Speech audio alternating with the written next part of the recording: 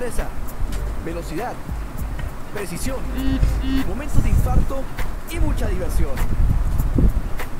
Lo mejor del deporte de la pelota naranja, cubrimientos, entrevistas, análisis de las ligas locales, nacionales y lo más importante del mejor baloncesto del mundo lo encuentras en un solo lugar.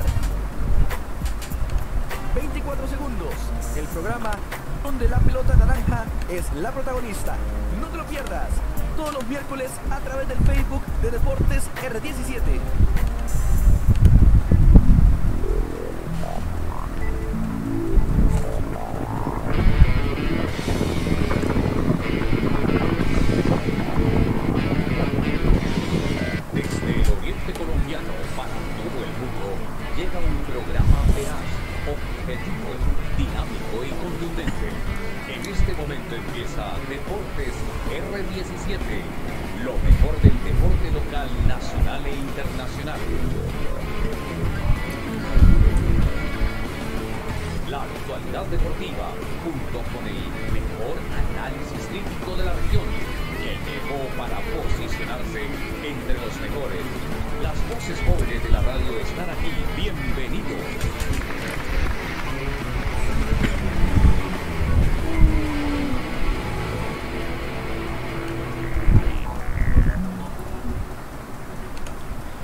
Hola, hola, ¿qué tal eh, mis amigos? Bienvenidos nuevamente a un programa de 24 segundos después de un buen tiempo eh, sin hacer el programa debido a las finales de la NBA y debido también a otras cuestiones que teníamos pendientes. Estamos eh, de vuelta con hablando del mejor baloncesto del mundo y también hablando de todo lo que pasó en esas grandes finales de NBA. También vamos a hablar acerca de lo que se dio o de lo que se va a dar en la Liga Colombiana de Baloncesto que va a empezar y que también podrán encontrar toda la información a través de Deportes RD17 y pues estamos acompañados como siempre de los dos mejores panelistas que puede haber en Colombia de baloncesto, hablando con Brian Sanari y con Joshua Chia de lo que fue el título de Los Ángeles Lakers, el número 17 en su historial de NBA y también, bueno, como ya lo dijimos, vamos a explicar un poco de en qué va a consistir este campeonato de baloncesto, esta liga que esta noche inicia de, con el bicampeón, con el partido entre Titanes y Cóndores de Cundinamarca y también el juego de Búcaros, que va a ser muy interesante, todos con transmisión abierta del canal de Win Sports. Vamos a estar dialogando acerca de eso y como siempre llevarles durante todo este mes la mejor información. Decir que el programa de 24 segundos va a ir todos los miércoles como siempre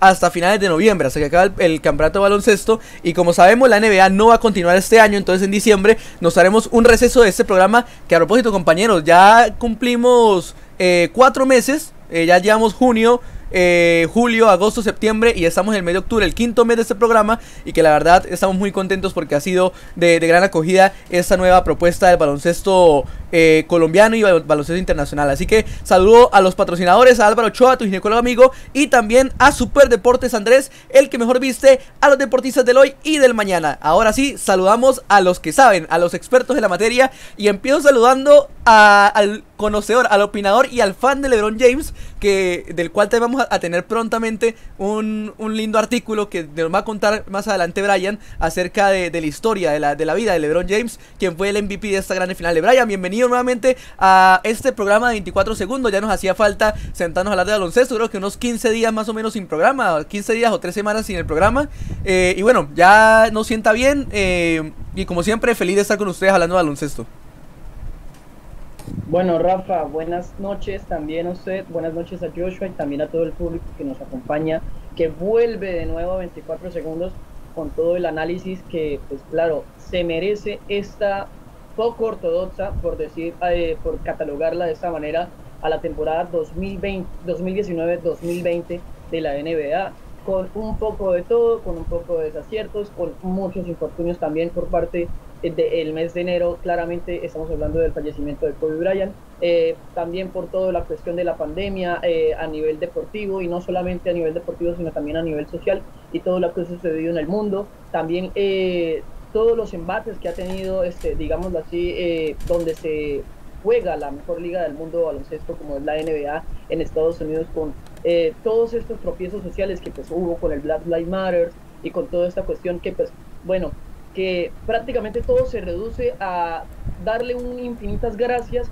al comisionado de la NBA, Adam Silver, eh, que si no fuese sido por él, no se fuese dado absolutamente nada eh, en tanto no solamente hablando de la burbuja de la NBA, sino también en todos los deportes, ya que él fue prácticamente el comisionado encargado de que todos los deportes en Estados Unidos se volvieran a retomar en estos meses. Y pues la verdad, un aplauso increíblemente grande eh, para toda la gestión que ha hecho eh, el comisionado Adam Silver. No se creía que se podía, eh, se podría, si acaso, comparar la figura del comisionado David Ernster, que falleció también hace unos pocos meses, pero creo que el comisionado Adam Silver está haciendo un trabajo excelente y creo que lo seguirá haciendo. El reto es bastante grande, Rafa. Ya terminamos 2019-2020 de la NBA.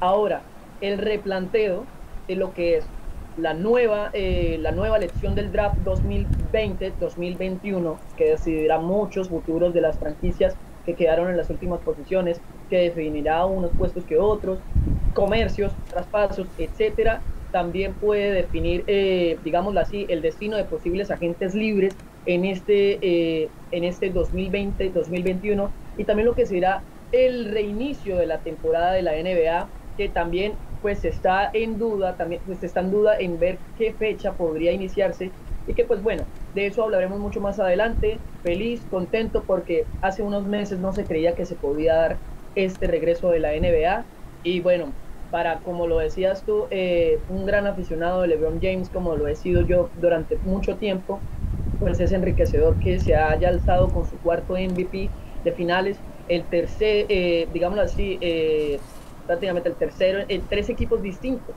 Ganar en, prácticamente cualquier equipo que vaya LeBron James es algo que no lo ha hecho nunca nadie en la historia de la NBA. Eh, ganar los MVP, ¿cierto? Ser, la máxima figura. Y que pues bueno, son cositas que se, se, tienen que ir anunciando de lo que se va a tratar más adelante, ahorita en el, en el que, en, ya en el análisis más completo del programa, Rafa. Así es, y bueno, me complace saludar a, creo que al más contento de, hacer este programa el día de hoy. De, sin duda alguna, eh, creo que el que más estaba optimista con, con, el título de los Lakers, el fanático de los Lakers sin duda alguna. Creo que aquí ganaron ustedes dos, porque uno fan de LeBron, le ganó título LeBron James. El que salió perjudicado aquí fui yo, que fui el hincha de Miami creo que ganó el baloncesto. Creo que como tal ganó el baloncesto. Ah, no, no, no, sí, sí, sí, claro. Pero eh, también, también, a pesar de ser periodistas y con la objetividad, porque nosotros siempre somos muy objetivos a la hora de hablar de baloncesto, también hay que decirlo. Hay que, hay que también decirlo. Yo en su momento estuve eh, contento porque Miami llegó a la final. Eh, la verdad que me gustó mucho el equipo de Spolstra esa temporada, pero ya vamos a entrar a hablar de eso. No quiero alargar el, saludo para nuestro compañero. Así que, sin más preámbulos, saludo a Joshua Chi. A Joshua, bienvenido a 24 segundos. Y, bueno, me imagino que contento con el título de los Lakers. Lo sufrió demasiado, lo vimos en los estados también suyos de WhatsApp. Y, bueno, me imagino que contento con este título número 17, ¿no? Buenas noches, Rafa, Brian, las personas que nos escuchan en esta hermosa y cálida noche de Cucuteña. Yo con el pecho eh, inflado, ¿no? Con el pecho inflado y con la sonrisa radiante. Pues, como ven, estoy vestido de negro. Hace poco estaba en, un sepelio porque no, no había podido ir, lamentablemente, a ver el entierro de los Clippers. No, no había ido, entonces hasta hace poco fui. Entonces, bueno, mi, mi sentido pesa en el equipo de los Clippers, que vamos a ver cómo renacen de esto. Bueno, ya hablando en serio, eh, sí, sinceramente, pues muy feliz porque fueron 10 años en que los Lakers ya no es que solo no fueran campeones, sino que dieron la peor imagen de la historia de la franquicia. Fueron 6 años consecutivos sin pasar a playoff. Eh, tuvimos dos temporadas de 60 derrotas, lamentable. Eh, tuvimos alineaciones con Sacre, Jody Mitz, entre otras desgracias basquetbolistas, Nick Young, entre, entre otros. Y pues nada, fueron años de muchas aguas turbias. Eh, la llegada de LeBron sin duda fue positivo, bueno, positivo. Fue la verdad revitalizante ¿no? para esta franquicia. Eh, también hay que decir que haber quedado en malas posiciones ¿no? en, el draft, eh, y perdón, en el draft no, en la, temporada regular, pues nos dieron pick número 2, ¿no? con el cual pues fichamos a Ingram, Alonso Ball, eh, pick como Josh eh, Hart, de Angelo Russell, y todos esos picks al final fueron los que tuvieron el valor para poder traer a Anthony Davis ¿no? a Los Ángeles Lakers, entonces digamos que todo, todo se dio de esta forma, el equipo... Eh, la gerencia de Rod Pelinka, que por cierto, un palo a la NBA. Rod Pelinka fue séptimo en manager. La verdad, lo, estos premios este año es lamentable. No hay por dónde cogerlo. Rod, Rod Pelinka séptimo. yo estoy flipando, pero En fin, eh, Rob Pelinka hizo un trabajo majestuoso. Además, los Lakers, que además tenían a LeBron, tenían a, Anthony Davis, soñaron con Kawhi Leonard, ¿no? Un Kawhi que estuvo ahí jugando con Lakers y al final decidió irse por los Clippers. Y aún así, Rob Pelinka armó el equipo rápidamente, ¿no? Porque ya habíamos, perdido oportunidades, ¿no? De fichar jugadores importantes. Rápidamente a Ryan Rondo, Danny Green, eh, Bradley, Cousin, que lamentablemente no pudo jugar. Eh, renovar a Magui, entre otros jugadores que fueron importantes. Eh, apostar por Cantevis Caldopo, que me cerró la boca. La verdad, el comienzo de temporada fue muy malo. Yo quería que lo echaran, pero las finales de Cantevis fueron espectaculares. Sinceramente, fueron de lo mejor del equipo, de lejos. Entonces, bien por Cantevis, que me imagino que esperemos que acepte su opción, de jugador de 8 millones. ¿no? Si no la acepta, pues bueno, él me imagino que querrá más dinero porque él sabe que, que lo vale. Y no, muy contento. La verdad, también feliz que la NBA haya terminado. Un año muy duro eh, comenzamos con los problemas con China, luego pues el COVID, antes la muerte de Kobe Bryant para la NBA, para los Lakers fue un golpe duro, los temas raciales que también amenazaron, ¿no? La conclusión de la, de la liga, entonces digamos que haber terminado esta liga, la más larga de la historia, porque duró un año, eh, sinceramente creo que es muy bueno para, para, para todos. Eh, ya lo decía Lebron, ¿no? Que de que este año fue muy complicado el estar en la burbuja, tres meses aislados, eh, digamos que no tener los preparamientos o que tenían ¿no? Eh, afuera, entonces es muy complicado, sinceramente me, me, levanto el sombrero por los dos equipos que llegan a la final, Miami Heat y los Lakers, lo hicieron espectacular, eh, creo que fueron los mejores pero de largo de la burbuja, de la liga, entonces fue una final interesante, 4-2 al final, una lástima las lesiones que mermaron a, al equipo de Miami, como Dragic, Adebayo que se perdió en los partidos y todo eso, una lástima, entendiendo también que creo yo que si no se lesionado, igual Lakers creo que era superior y hubiese sido campeón, pero lo hicimos por más por el espectáculo. Y pues nada, unos Lakers que empatan a Boston Celtics en campeonatos, unos Lakers que ya se convierten en la franquicia más grande de la historia, porque ya de por sí es el equipo con las máximas figuras de la historia, más campeonatos de división, de conferencia, de finales. Em, bueno, en fin, solo le faltaba tener los mismos anillos que Boston. Y lo han hecho, que por cierto, desde el desde los 80, los Lakers han ganado 11 campeonatos, ¿vale? 11 campeonatos, que es la misma cantidad de campeonatos que han ganado los equipos en la conferencia oeste. Entonces los Lakers claramente han tenido un dominio en los últimos 30 años en cuanto a conferencia oeste demasiado abismal. Bueno, 30, 40 años diría, demasiado abismal. Entonces, contento por eso. Y pues nada, Rafa decía que se acabó la NBA, es cierto, se acabó la NBA. Pero si esta liga es tan hermosa es porque todavía no para, porque ahora viene el draft, la agencia libre, los traspasos, ver cómo se arman los equipos, vienen cosas muy lindas para la NBA. Entonces, eh, lo más probable es que eh, Adam Silver quiera comenzar la temporada por allá. No sé, si, él quiere público, debería forzar lo máximo, ya sea tercera semana de enero, comienzo de febrero. Si él quiere público. Eh, como ya por lo menos vemos en la MLB que hay un poquito de público. Entonces, yo creo que lo va a forzar al máximo. Igual la gente dice, no, que nos vamos a quedar sin baloncesto por por unos meses, bueno, no, octubre, noviembre, diciembre, enero, cuatro meses. Recordemos que la NBA regularmente termina en, junio y comienza en octubre, también cuatro meses, entonces cinco meses. Entonces, eh, los tiempos están. Pero muy contento por los Lakers, contento porque terminó la temporada y feliz por todo lo que nos dejó eh, esa temporada de baloncesto, que por cierto, corona a LeBron James como el mejor jugador de la Tierra otra vez. No, además, Joshua, yo digo que también es positivo ese, ese parón hasta enero, primero para el tema de la recuperación de los jugadores, porque literalmente fue, fueron eh, tres meses durísimos, donde o sea, están acostumbrados a, a, trajines bien, bien duros, pero digamos que se tuvo que cortar el calendario, partidos, yo digo que hasta un poco más... Eh, seguidos, un, día más de pronto, un día menos de recuperación. Además que acabó la NBA que era lo importante. O sea, uno había sentido el vacío porque eh, llegó junio y no había acabado la NBA. Entonces yo creo que en este caso termina siendo un, buen final, una, una, buena, una gran final, a pesar de todo, eh, termina siendo un gran, un gran torneo. Y, creo que es lo mejor, primero para la recuperación de los jugadores, para que estén con sus familias, para la preparación física, porque tampoco es fácil eh, llegar de, de, estar tanto tiempo sin jugar y, llegar y jugar un campeonato, necesitan recuperarse, además como usted dice, para que lleguen los aficionados. Y ahorita viene noviembre y diciembre y les aseguro que ya nosotros sabemos, se pasa mucho más rápido este tiempo que en junio y más estando en confinamiento. Entonces ya prácticamente estamos en octubre, se octubre, llega noviembre, Navidad, todo se pasa rápido y cuando menos eh, lo creamos ya estamos en enero, febrero, ya estamos iniciando otra vez NBA. Entonces creo que ese tiempo va a ser, eh, se va a pasar muy rápido, no creo que lo vayamos a sentir tanto. Si es triste de pronto no ver partido de Navidad, como siempre estamos acostumbrados a ese 25 de diciembre con, con los más grandes clásicos de la NBA, pero creo que es lo mejor eh, para los jugadores, para todo el campeonato. Y como usted bien decía, mis aplausos, me quito el sombrero ante Adam Silver, porque la verdad, con todas las dudas que nosotros tuvimos aquí en el programa, porque se acuerdan que nosotros dijimos, pero ¿será que van los jugadores? ¿Será que, que sí están los equipos? Y, y, terminó siendo un éxito el campeonato. Ningún jugador dio positivo de COVID, ninguno, nadie dio positivo, entonces... ¿Qué fueron? ¿Los qué? 172 jugadores fueron a la burbuja de la NBA y ninguno fue declarado positivo. Jugadores, personal, árbitros. Fue la verdad espectacular el trabajo que se hizo. Hay que aprender de, de lo grande. Si la NBA es la liga, por lo menos profesional más grande que Lo ha demostrado. Yo que junto con la MLB y de pronto este, no es que ni la Premier, porque la Premier League en, el fútbol también ha dado muchos positivos. Digamos, con la MLB, la, la, liga de Estados Unidos mandan en, tema de, de, protocolo, de estructura. La cosa es que pues estamos hablando de, estamos hablando prácticamente de más que una liga, una asociación deportiva, básicamente.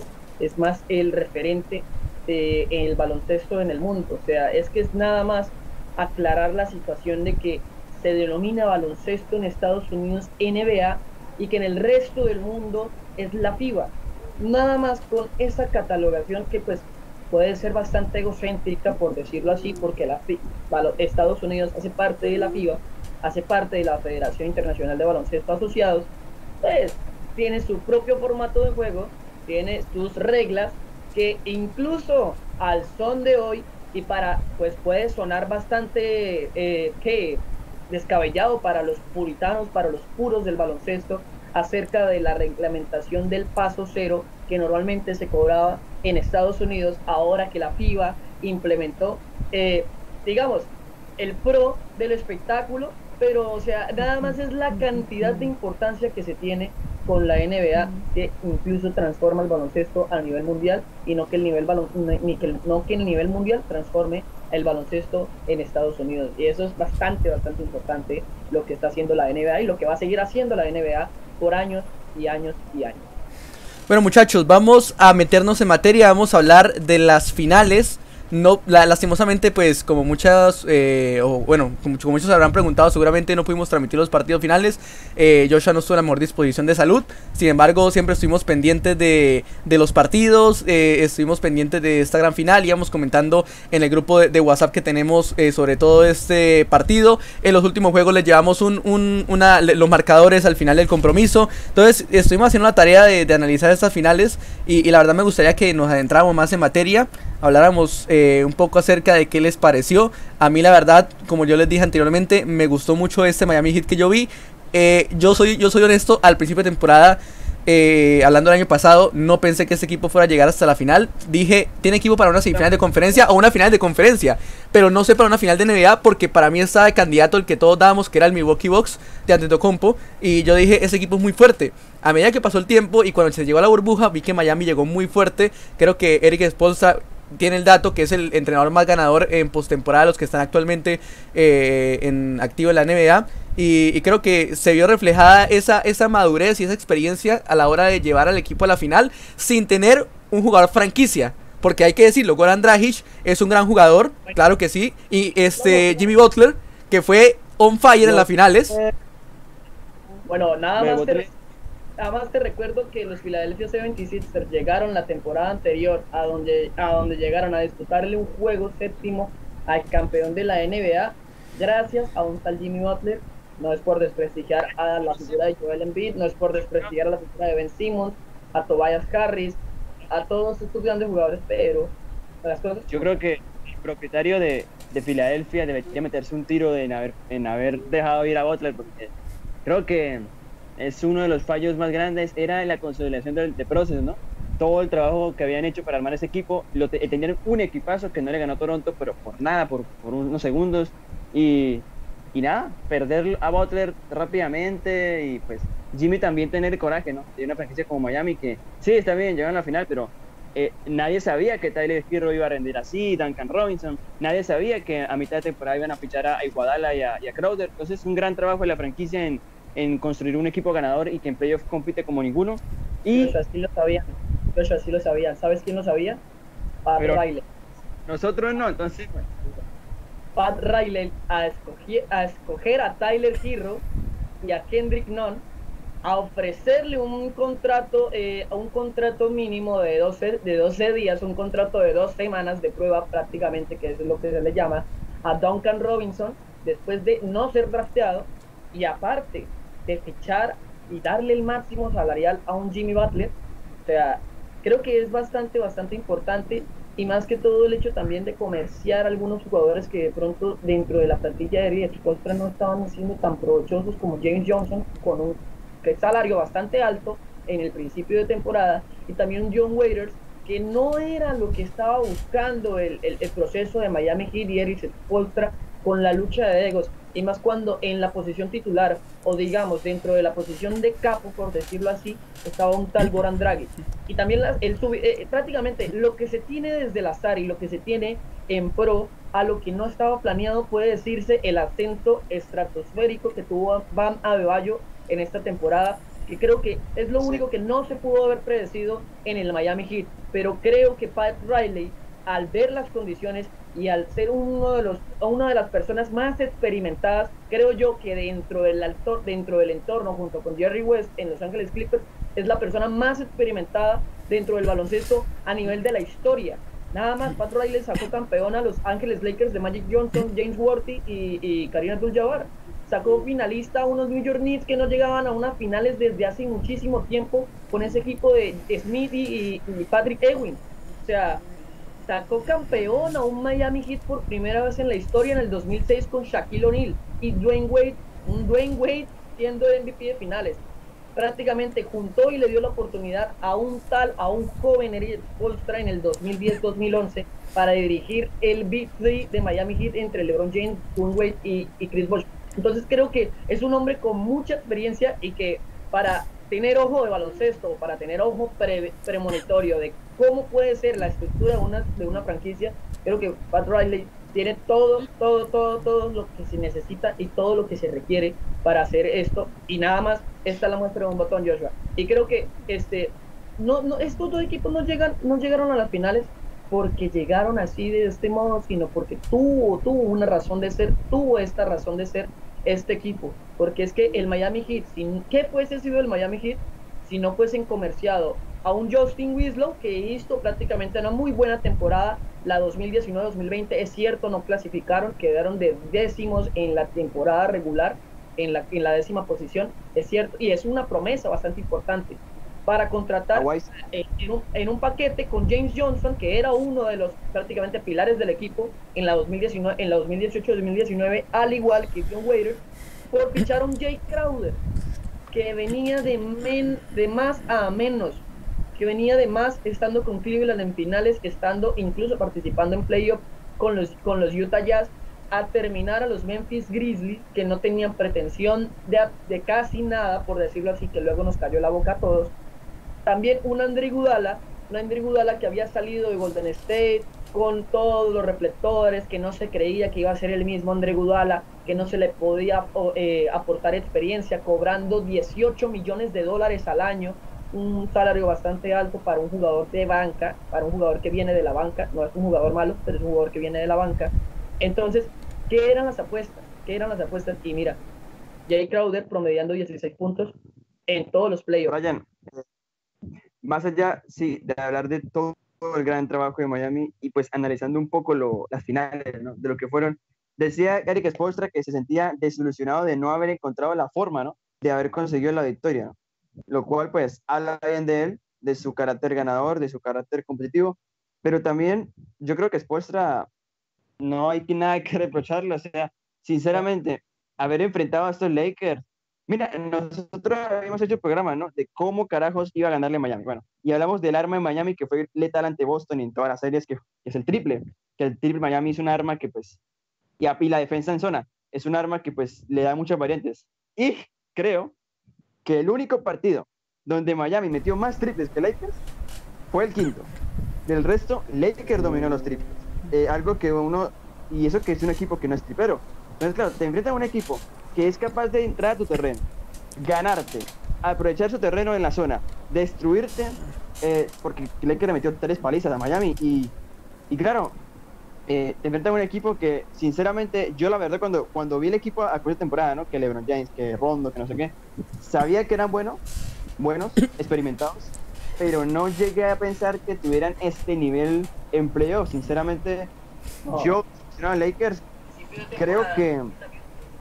que no, no, pero yo, pero, pero, o sea, no, no, no va a decir que ganaron fácil, 4-1, 4-1, 4-1, 4-2, y, y ojo, ¿no?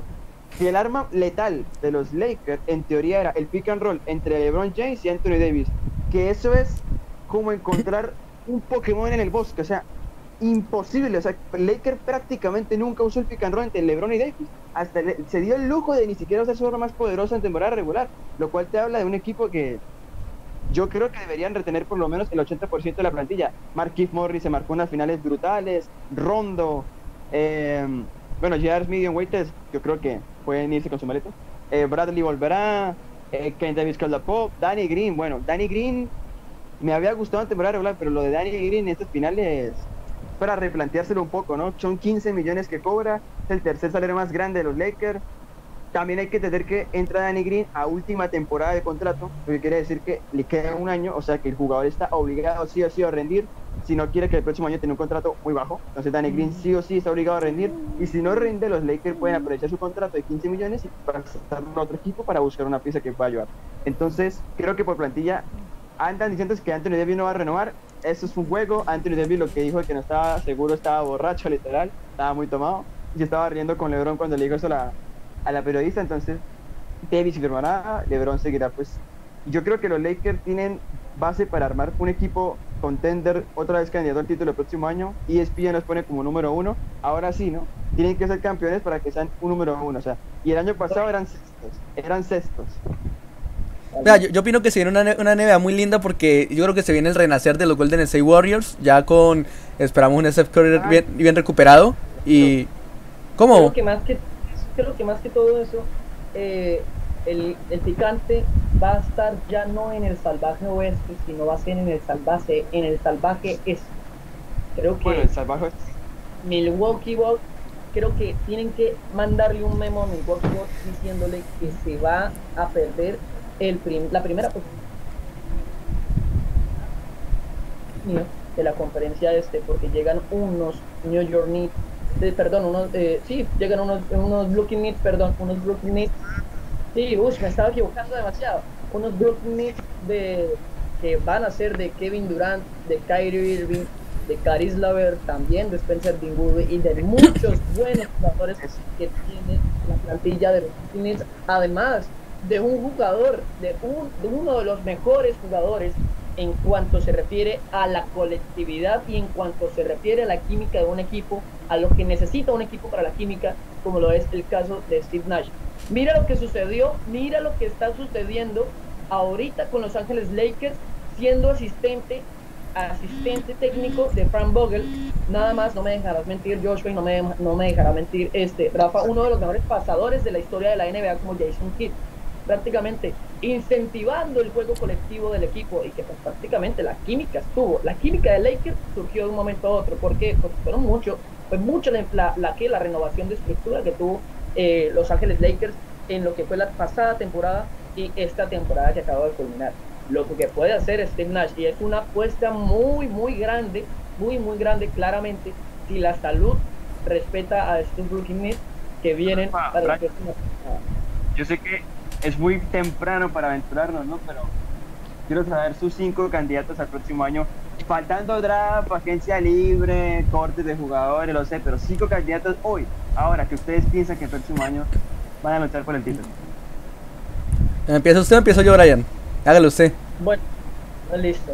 Yo trataré de empezar. En primera posición, claramente, el rey siempre va a seguir vigente y no va a ser destronado. Ya pues aprovechando el artículo que quería traer a cotación en el programa, les recomiendo muy, muy, muy interesante. Es acerca de la posición histórica de LeBron James y la insoportable levedad del ruido un artículo muy interesante por, eh, escrito por un periodista eh, España, eh, se llama Gonzalo Velázquez, eh, es el autor de este artículo, bastante importante. El rey en su prime, el rey en su prime. Se fue hace siete años de Miami y aún sigue en su prime el rey LeBron James. Lo cual nunca se puede dejar y nunca se puede sacar a LeBron James en la contendencia de un campeonato. LeBron James a cualquier equipo que va lo va a hacer un equipo contendiente, mucho más con la química y con la hermandad tan sólida que ha consolidado con Anthony Davis y con todo el conjunto, con Rayon Rondo, con Dwight Howard, que son jugadores de mucha, mucha experiencia, pero que son jugadores que todavía les queda carrera, que todavía les queda peso y que, que en muchas ocasiones en playoffs, donde se define realmente la, la NBA, donde se decide realmente la temporada, es lo que importa, la experiencia, más incluso el talento o la tenacidad. Brian, como fue en el caso. Además que LeBron no solamente haciendo los contendientes, sino ganando con tres franquicias diferentes y en las tres siendo MVP. Creo que no sé cuántos hayan logrado eso en la historia o si es el único LeBron James, no tengo el dato, no sé si ustedes lo tienen, pero creo que ninguno lo ha hecho, es el primero. Ninguno en la historia, ninguno en la historia ha ganado tres MVPs en equipos distintos.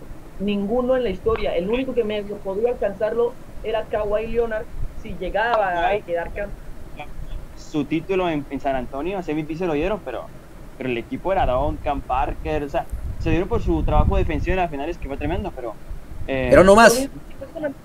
Pero con Gudala, lo mismo que fue con André Gudala en el 2015 con Golden State Warriors. Le dieron el MVP de las finales por reducir a LeBron James. O sea, mira eso, mira cómo es importante un jugador en la historia y el peso que tiene un jugador que le pueden otorgar el MVP, o sea, el, el galardón más importante en la NBA, con todo el respeto para el MVP de temporada regular, como lo es Giannis Antetokounmpo, pero el que define todo prácticamente es el MVP de finales. El MVP de finales es el que define todo. Mira, o sea, fueron dos MVPs que repartieron solamente por tener a LeBron James, que fue a Kawhi Leonard en el 2014 y que fue André Iguodala en el 2015. Se estarán relamiendo y se estarán remordiendo los fanáticos de Steph Curry que no le dieron el MVP en esa temporada, pero lo siento. ¿Qué tan grande es el jugador que tienes al frente para que le den un MVP o ese galardón al, al jugador que lo pudo medio frenar? Porque incluso LeBron James promedió 32 puntos, 11, 11 robotes y 8 asistencias en esa temporada. Bueno, en, el siguiente, en el siguiente escalón, ya para terminar este el top 5 y no alargarme tanto, claramente Los Ángeles Clippers no van a quedar con, no van a quedar de los brazos cruzados para nada y creo que eh, están eh, digamos en ese en ese repensar de qué va a ser la franquicia de Los Ángeles Clippers y creo que Steve Ballmer no metió toda la carne al asador por simplemente quedar en unas semifinales de conferencia y mucho menos quedar en un 3-1. años si no ganan. Claro, entonces yo creería que Los Ángeles Clippers no se podrían quedar, no se podrían quitar dentro del segundo lugar.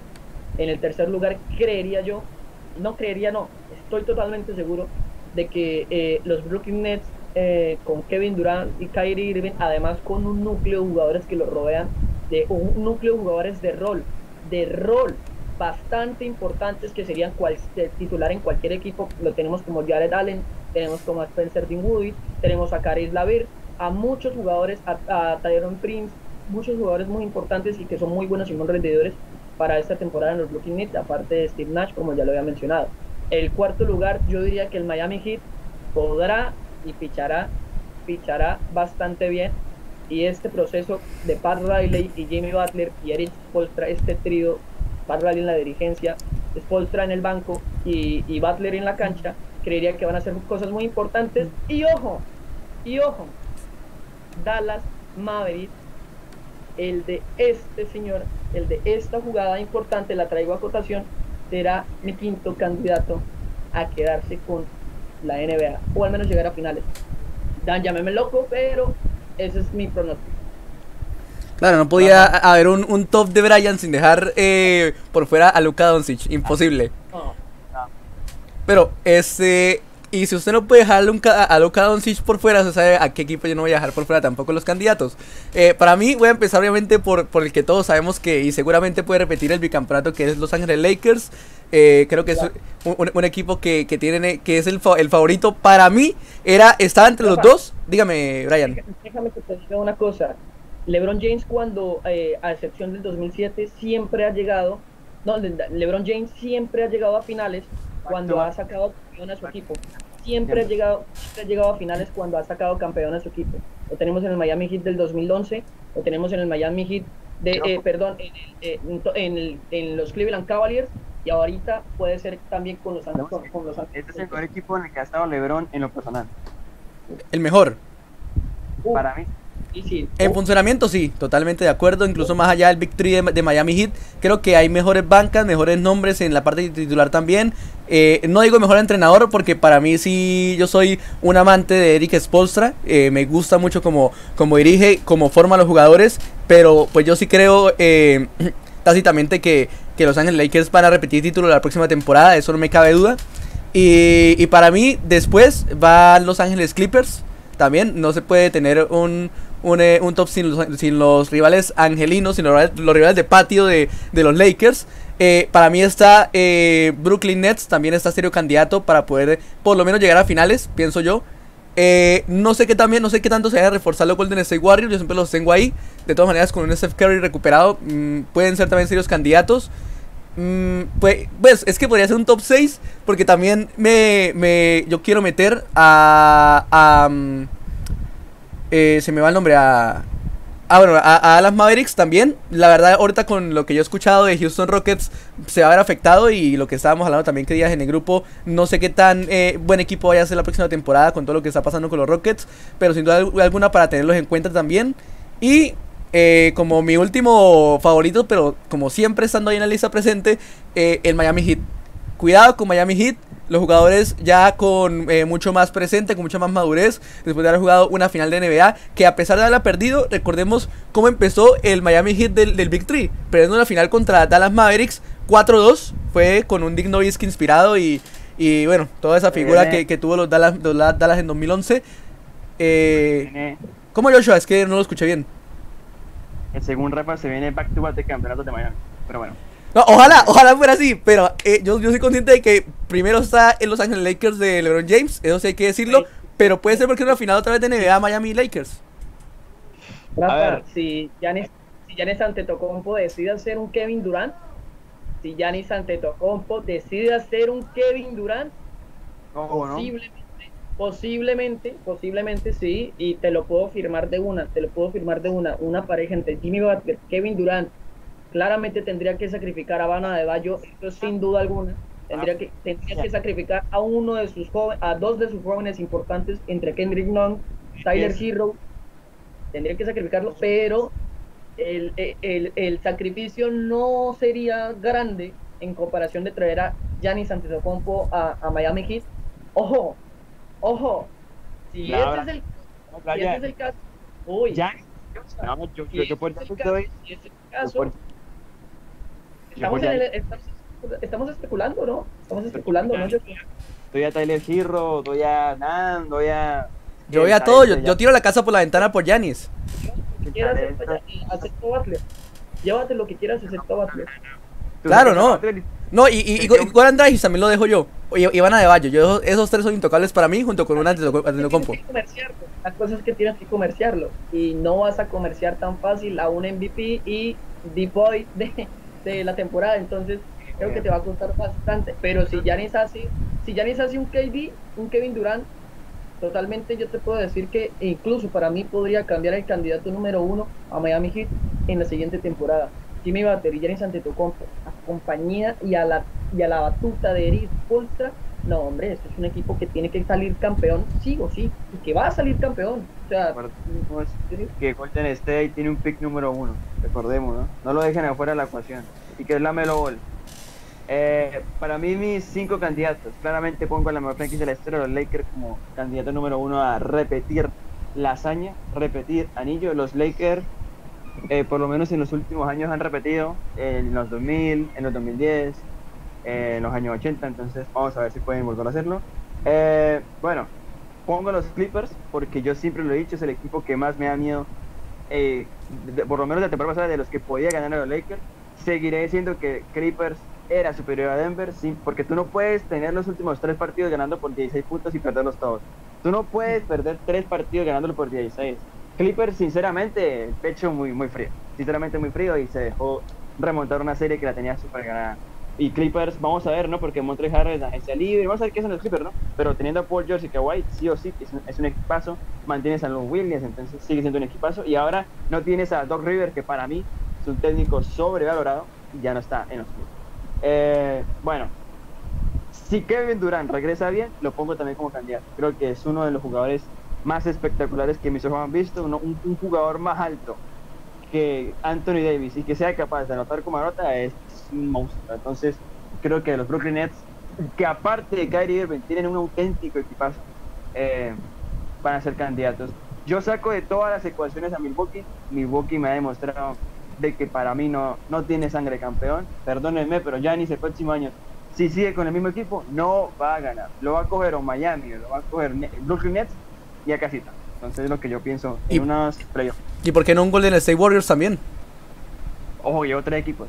Eh, Los Ángeles Lakers y están Los Ángeles Clippers. Joshua, la- pues bueno, yo la verdad lo saco de la ecuación, yo lo saco de la ecuación porque están Los Ángeles Clippers y están Los Ángeles Lakers. Y la verdad, eh, pues bueno, no se puede desmeritar, mu- nunca, nunca se puede desmeritar a un campeón, múltiple campeón como Kevin, como, como eh, Steph Curry, como Clay Thompson, como a Draymond Green, pero Rafa, la cosa es que la banca de Golden State Warriors era la vida también de Golden State Warriors.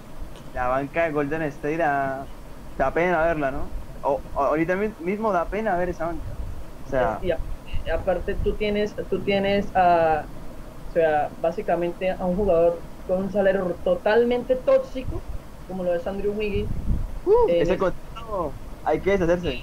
y tú no lo vas a sacar de una manera muy sencilla. No lo vas a sacar porque tienes que buscar un equipo que te quite ese contrato de encima para tú poder, uno, liberar salario. La gente cree que es simplemente traer así a Giannis Antetokounmpo como hacer magia, cuando no es así. Tienes que salir primero Andrew Wiggins, porque tienes a tres jugadores en máximo salarial. Tendrías a tres jugadores. Warriors en este momento tiene tres jugadores en máximo salarial. A Andrew Wiggins, tienen a Steph Curry y tienen a Clay Thompson. Clay Thompson renovó esta temporada porque se les olvida. Y aparte, tienen a Draymond Green, cuatro veces All-Star. Figura incluso en muchos campeonatos de Golden State Warriors. No, No. creo que Draymond Green se vaya a quedar de brazos cruzados mientras atraen a otra superestrella y no le dan lo que él cree que se corresponde.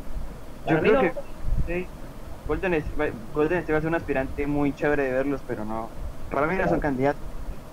A nivel defensivo les falta mucho. O sea, cuando tenían a Kevin Durant y Iguadala, es que Iguadala y Durant era una defensa muy, muy grande, más Draymond Green, pero ahora si no los tienen los dos, nada, no los veo. A no ser que hagan milagros en traspaso, draft, yo la verdad es que no los veo.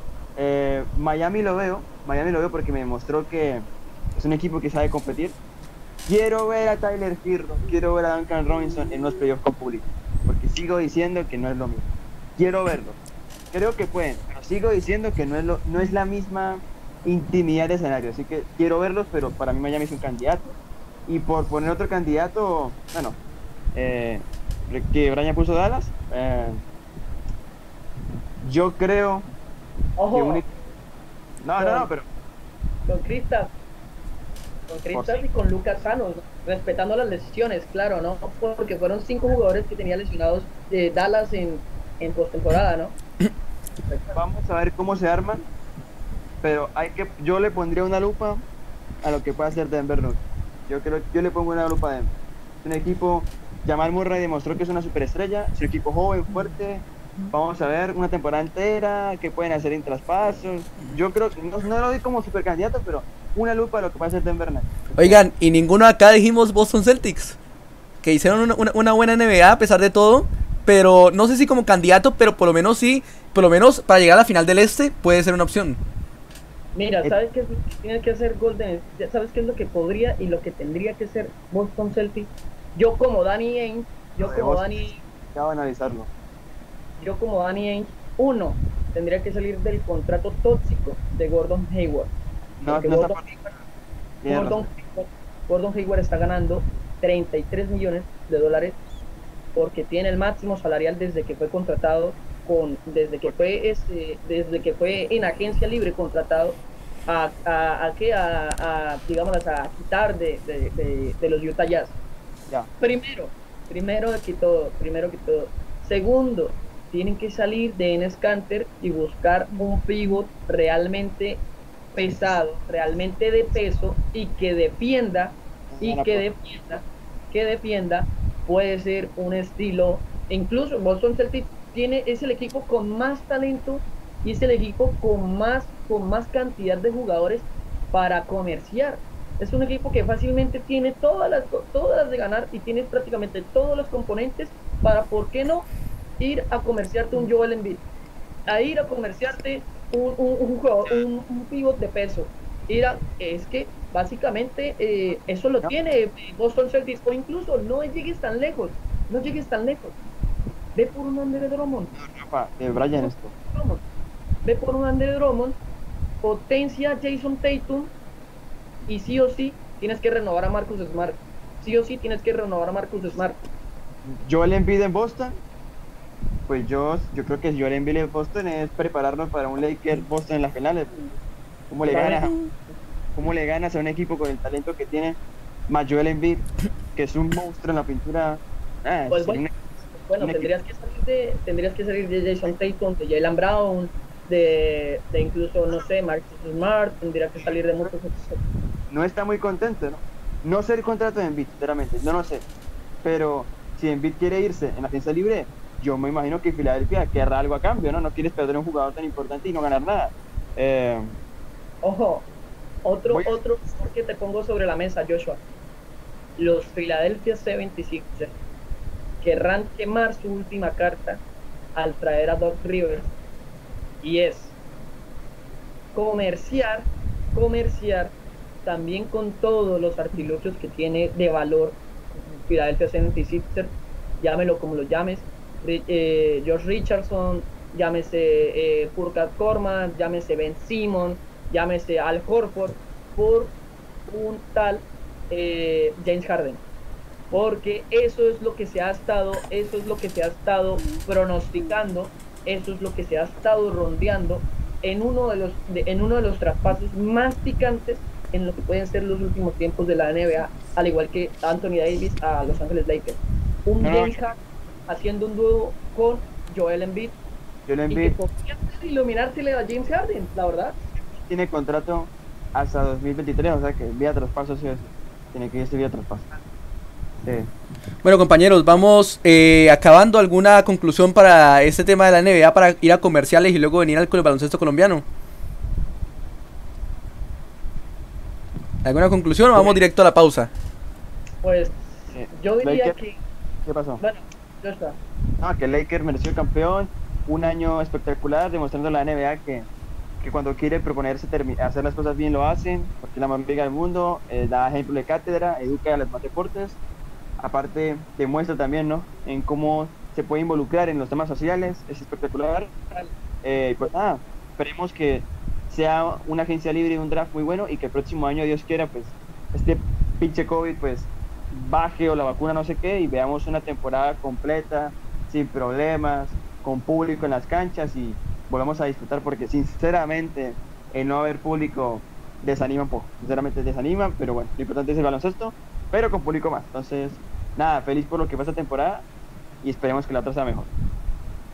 Ryan, ¿algo para agregar a lo que dijo Joshua? Bueno, pues la verdad, eh, totalmente de acuerdo con lo que con lo que dijo Joshua y yo quiero hincapié totalmente en que el deporte el deporte es esencial para la vida humana. El deporte es esencial para nosotros como seres humanos y el entretenimiento es esencial. Es una de las cosas más esenciales para nosotros para poder vivir y para poder darle alegría a la vida.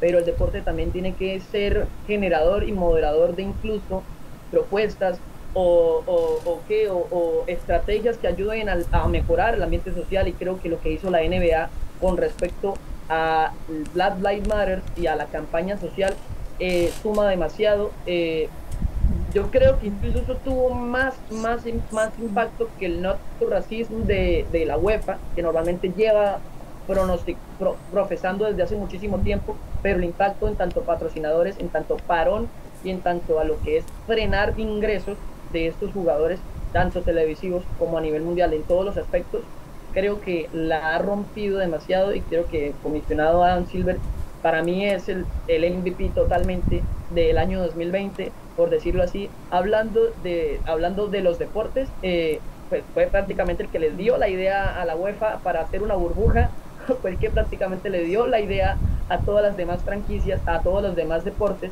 para incluso retomar las actividades deportivas. Y también, este, Rafa, eh, lo importante que es ver baloncesto, lo, lo importante que es ver otros deportes, no simplemente quedarte con el fútbol, no simplemente quedarte también con el baloncesto, sino también explorar muchas cosas y verás cómo te diviertes y cómo te entretienes cuando amplías tu tus horizontes de tus gustos. Así es compañeros, una pausa y ya regresamos en 24 segundos y en Deportes R17.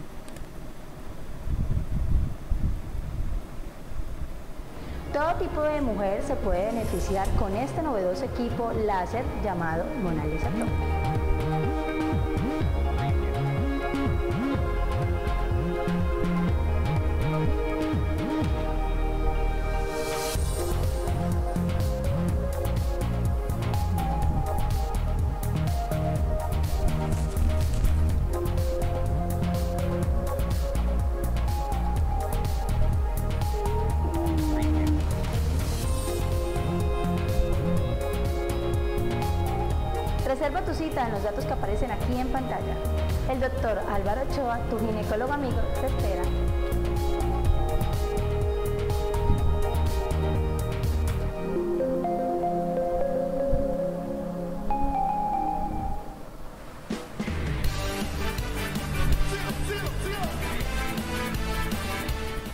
Superdeportes Andrés, la tienda de ropa y elementos deportivos número uno de los nortes santanderianos.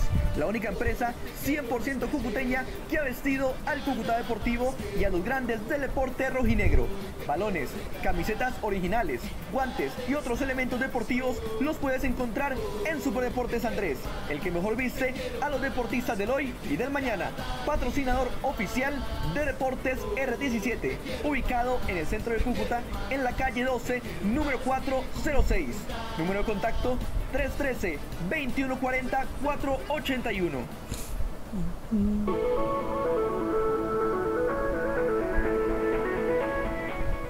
Por muchos años, nuestros deportistas han hecho historia representando a Norte de Santander. Amor, pasión, esfuerzo y sufrimiento.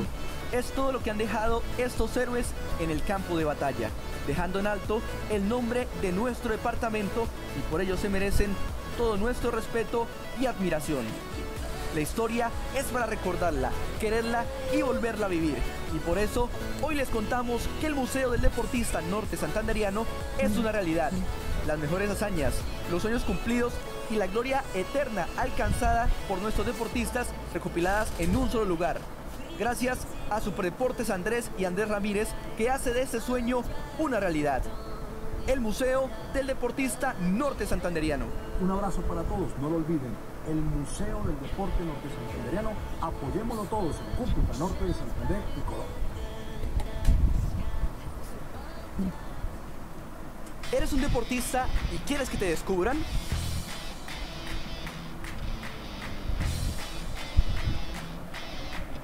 Que los más importantes equipos vean tus goles, tus puntos, tus canastas, tus mejores jugadas y la mejor versión de ti. Entonces no esperes más porque aquí te ayudamos a crear tus videos, tus producciones para que logres el sueño de ser el mejor deportista. No esperes más, llámanos. Número de contacto 300 379 2513. También nos puedes contactar a través de nuestro Facebook de Deportes R17.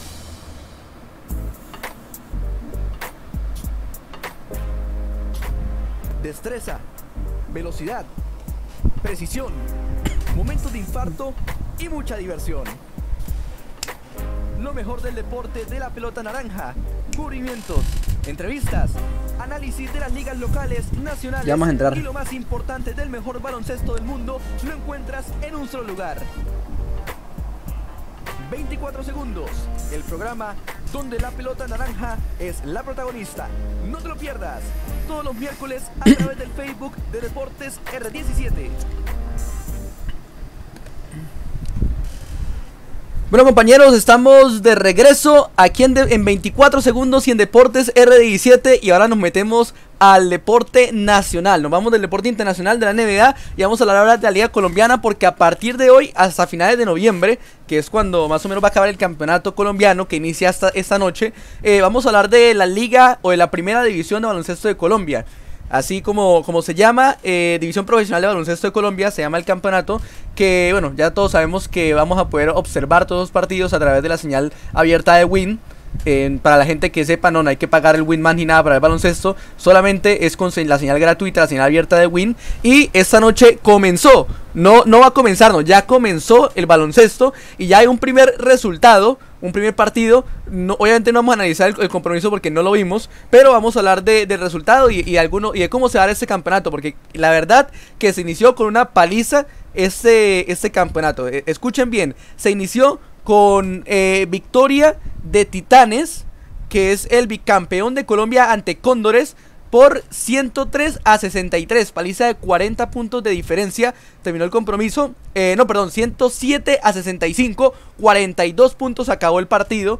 Eh, esta victoria de Titanes del equipo de Barranquilla que va con toda, ¿no? Está pisando fuerte en este campeonato. Incluso comenzó el primer cuarto ganándolo por 14 puntos, 29-15. Estoy viendo aquí. Y bueno, acabó con una diferencia en el último cuarto de 34-16. El físico eh, les ayudó mucho a los Titanes. Pero vamos a entrar a hablar de baloncesto colombiano, algo que hace mucho que, que no pasaba, hace el, año pasado que no había liga baloncesto en Colombia. Y quiero saber eh, la opinión de Joshua y de Brian. ¿Qué opinan de baloncesto en Colombia? ¿Cómo ven este inicio de Titanes, que es el actual bicampeón? Que incluso tenemos una nota en Deportes R17 hablando de cómo se sienten acerca de este compromiso. Y, bueno, con este golpe de autoridad que da, demostrando a que es el equipo a vencer en esta burbuja que, que se disputa este campeonato en el, en el Coliseo eh, Evangelista Mora de, de la, de la ciudad de Cali.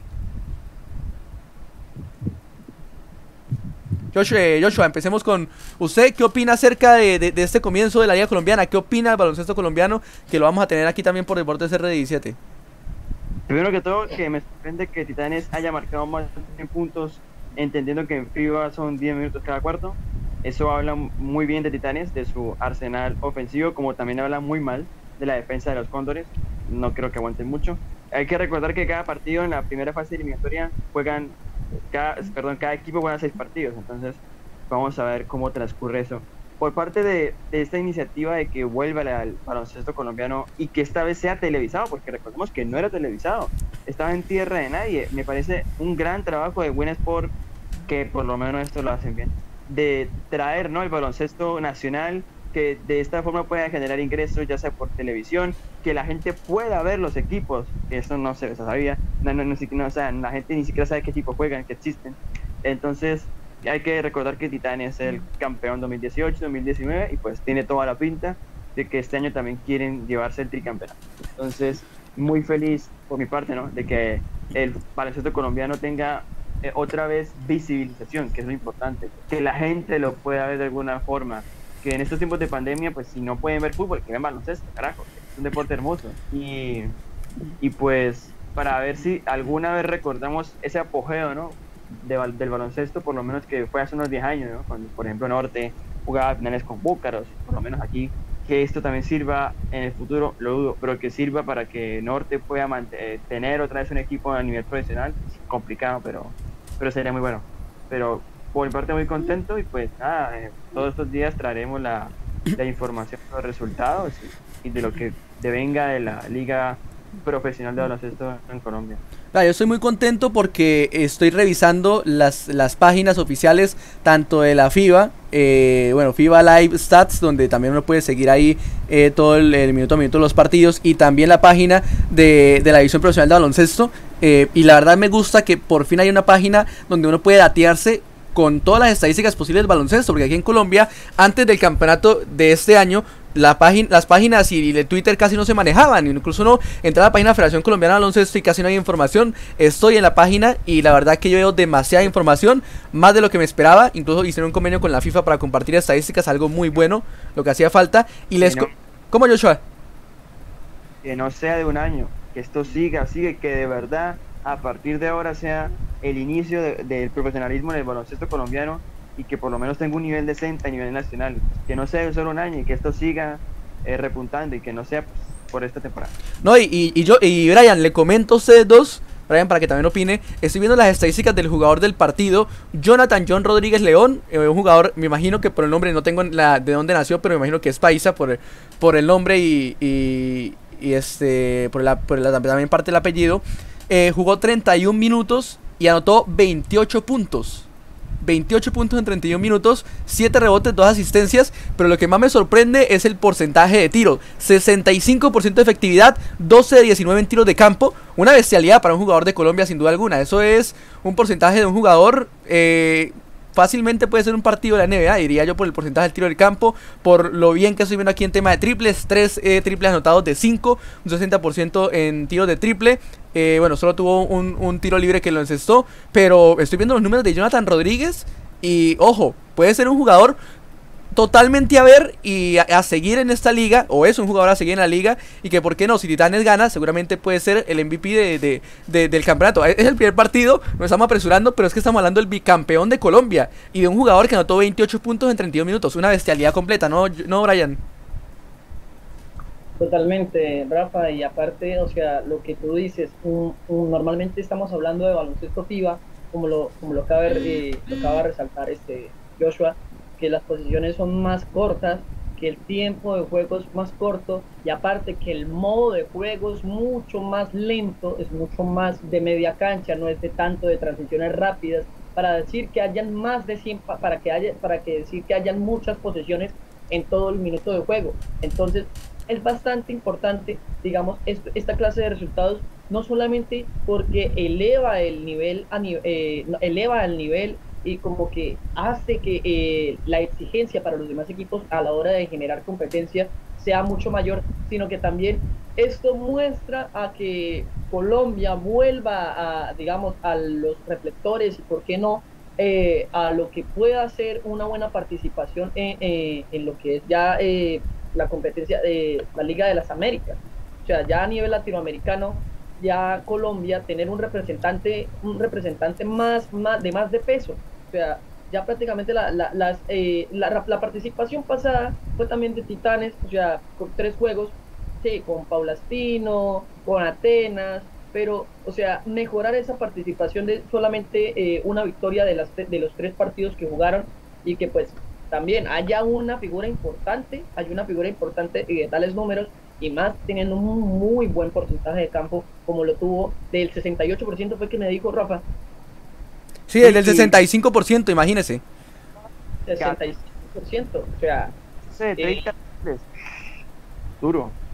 estamos hablando estamos hablando de un muy buen porcentaje de tiros de campo para, para, para, para pues prácticamente lo que se puede hacer en, en, en pocos minutos de partido porque realmente son, son pocos son pocos minutos los que los que se puedan disputar en un partido de, de- del baloncesto eh, Pío. y aparte de eso Rafa como le estábamos comentando eh, la, la, la vez que nos reunimos nosotros allá eh, a jugar baloncesto que eh, normalmente el baloncesto colombiano el baloncesto colombiano o sea tiende a ser más lento y tiende a que el modo de su juego sea distinto a lo que convencionalmente se vea. Y no solamente el latinoamericano, sino también el baloncesto mundial. Vemos que es de mucha más estrategia, es, no, es de tan, no, es de, es de más rotación, es de más sacrificio defensivo. El baloncesto de héroe, de que yo las meto todas y demás, eh, queda totalmente a un lado y más desde el que tenga mejor ubicación, el que tenga mejor rango de tiro para lanzar y para ejecutar alguna jugada ofensiva, es el que va a llevar la iniciativa y en este caso eh, Rodríguez fue el que hizo esta, esta gesta y que prácticamente se despacha con 20 puntos y, y pues eh, prácticamente o sea, unas estadísticas que... Con 28, no le quita 8 puntos al jugador, con 28 puntos, casi 30.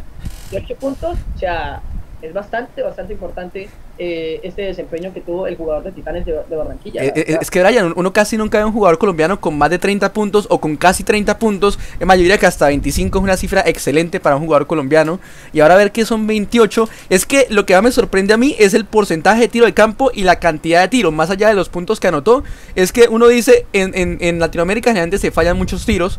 y cuando se tiende a apresurar mucho el baloncesto es muy impreciso, muchas pérdidas. Uno ve también el tema de, los robos y, el- incluso de las pérdidas. Tuvo solamente. No, es que no tuvo pérdidas. No tuvo ni una sola pérdida en todo el partido. En robos tuvo tres robos.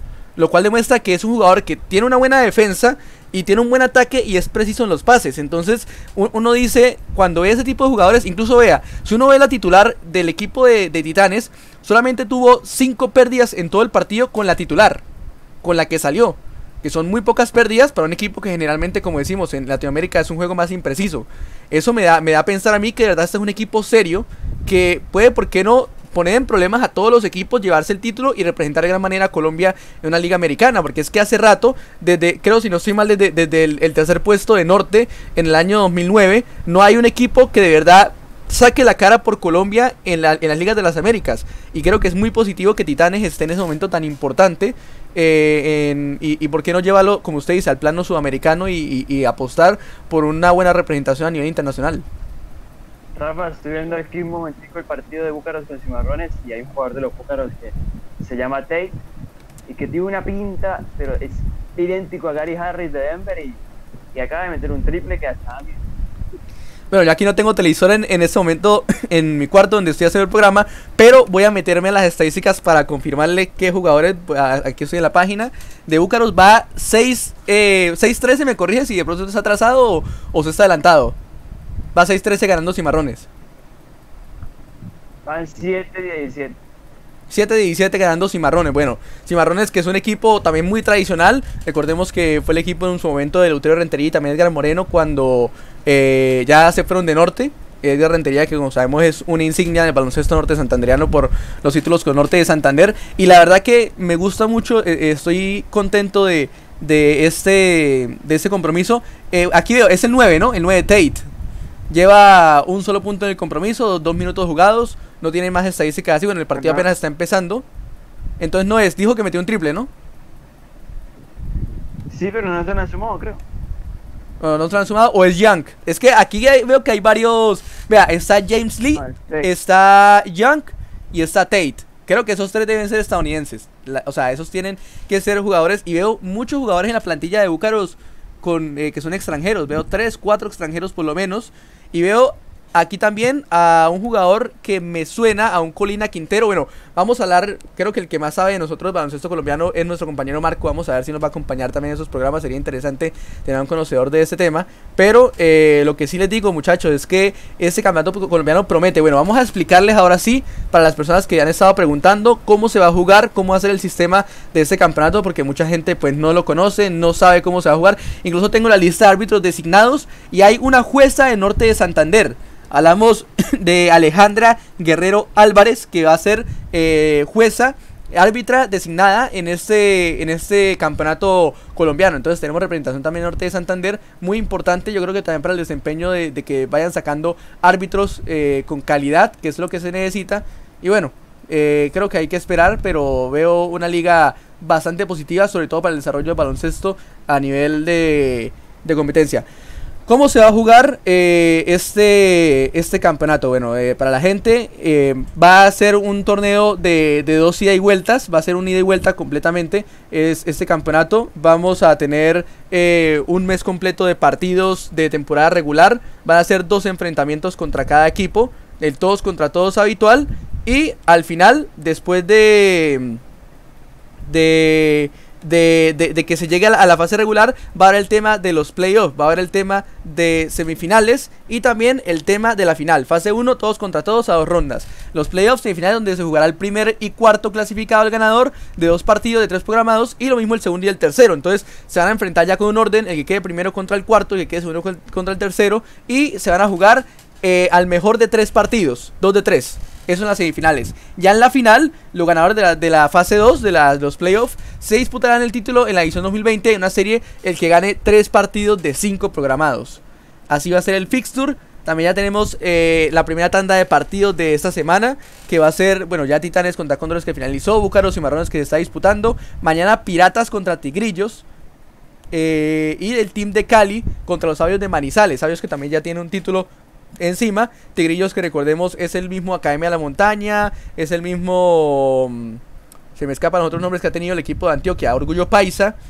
Eh, bueno, que ha tenido muchísimos nombres, ha, cambiado muchísimo los nombres de, de los equipos de, de, de Medellín, que son tradicionales y que son equipos que siempre están peleando los títulos. Me acuerdo mucho Arrieros, Arrieros con Norte en esas finales que también se disputaron. A lo, a lo Miami Heat, una final se la ganó Norte y otra final la perdió con Arrieros. En la venganza de Arrieros porque perdió, Norte le ganó el partido en, su casa en la primera final, el primer título. Y luego Arrieros se desquitó y le ganó a, a Norte en su, en su coliseo. Eso fue en el año 2010, 2011 más o menos.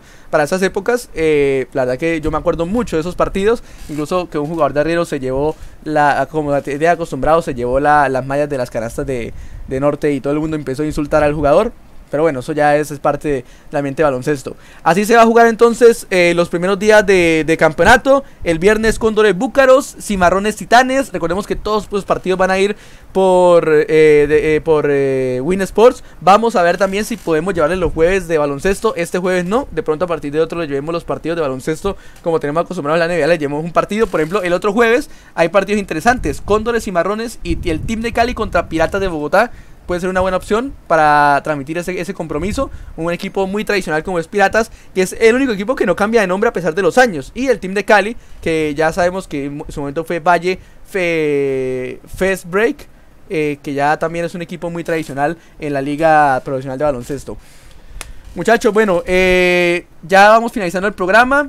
Más que nada era como para hacer una antesala de, de lo que se viene en el tema del baloncesto. Eh, la otra semana también estaremos hablando de los códigos de bioseguridad que estará manejando. Y en Deportes RI7 dentro de un momento vamos a tener las ruedas de prensa, tanto de este primer partido que ya pasó como el partido entre Búcaros y Cimarrones. Vamos a pasar las todas por Deportes RI7. También vamos a estar nosotros haciendo parte de esas ruedas de prensa. Y eh, bueno, simplemente ya para ir finalizando el programa, compañeros Brian, Joshua, para que se vayan despidiendo y, dar un último mensaje o tal vez alguna opinión acerca de lo que piensan de, de esta liga colombiana, de, de qué sienten, de qué se puede hacer, de pronto el, el gran favorito que puedan ver para el campeonato o, o cuál puede ser la final ahí eh, en los conocimientos. Yo de pronto no sé ustedes, yo sí tengo un poco más de conocimiento de la liga colombiana que de, la misma NBA, entonces yo sí tengo mis dos eh, favoritos. Para mí mis candidatos son obviamente Titanes contra el equipo de Sabios de Manizales, que ya ha sido campeón y que me gusta mucho. Puede ser una final muy interesante entre Sabios y el, y el equipo de Barranquilla. Y no sé ustedes, eh, Joshua, ¿qué piensa usted acerca de, de este campeonato de baloncesto ya para finalizar el programa? Y gracias por acompañarnos. Vamos despidiéndonos de una también con, con este final de, de con esta eh, reflexión final. Así que, Joshua, muchas gracias por acompañarnos aquí en 24 segundos. A Rafa, a Brian y a las personas que me escucharon, ¿no? Pues em, yo creo que la final puede ser entre cimarrones. Me gusta mucho eh, de lo poco que he visto del equipo, en cómo está confeccionado y pues Titán es claramente favorito. Y pues nada, contento de que esta iniciativa haya nacido por parte pues de la Liga Profesional de, de Baloncesto Colombiano, por parte de Win también de transmitirlas y lo mejor para, para esta liga, que tenga una buena audiencia y que esto se prolongue por los demás años y que por lo menos ya por fin tengamos asegurado ver baloncesto colombiano por televisión, que es lo que más se debería pedir. Y contento con esto. Y pues nada, yo me despido y pues nos vemos en la próxima.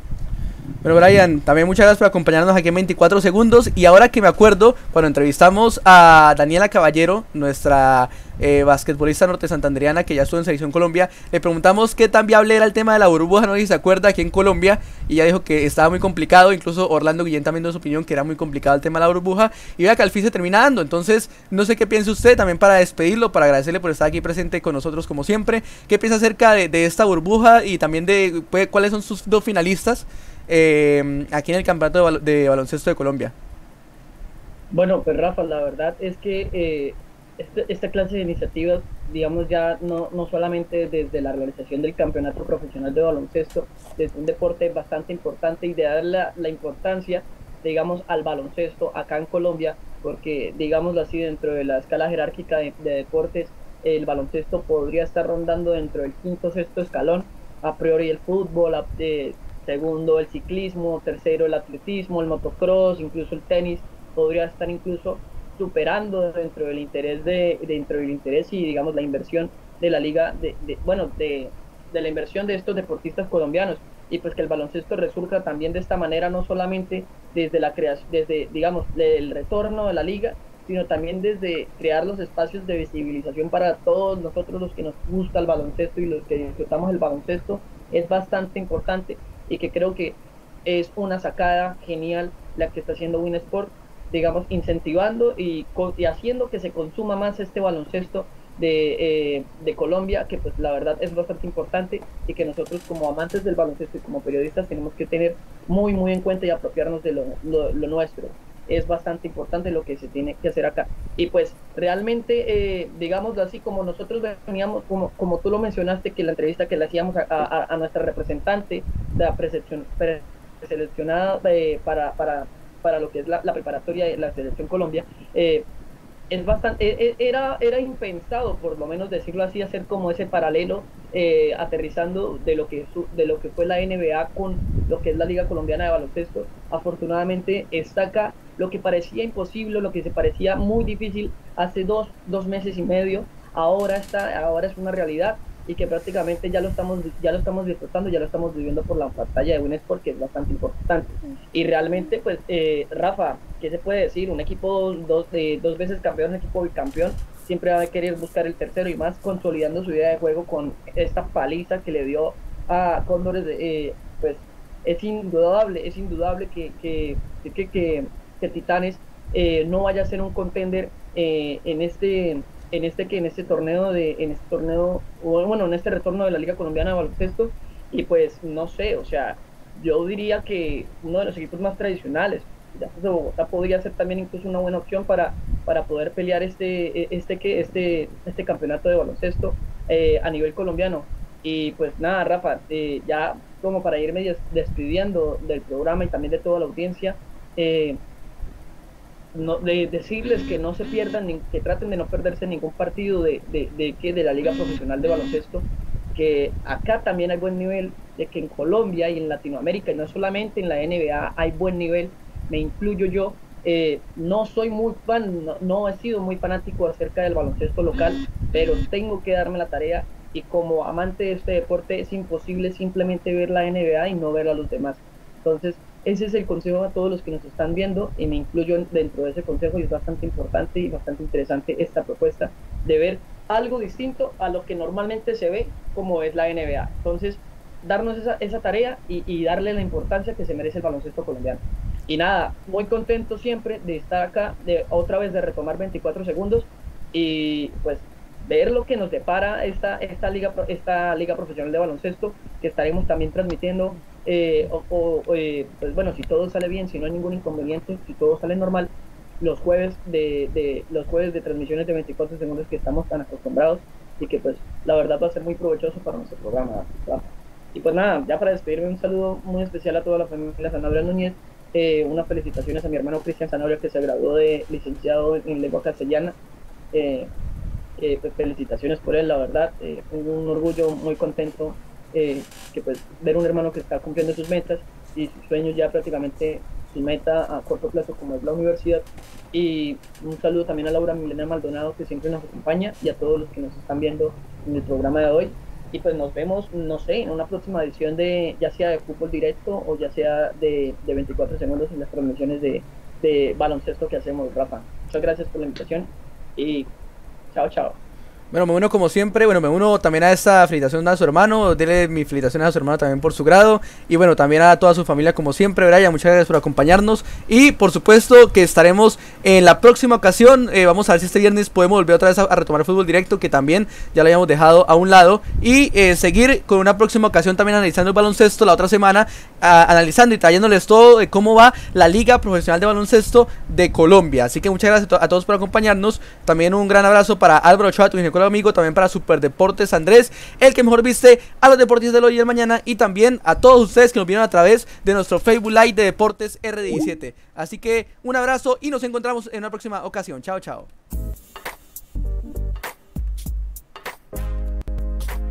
Destreza, velocidad, precisión, momentos de infarto y mucha diversión. Lo mejor del deporte de la pelota naranja, cubrimientos, entrevistas, análisis de las ligas locales, nacionales y lo más importante del mejor baloncesto del mundo lo encuentras en un solo lugar. 24 segundos, el programa donde la pelota naranja es la protagonista. No te lo pierdas, todos los miércoles a través del Facebook de Deportes R17.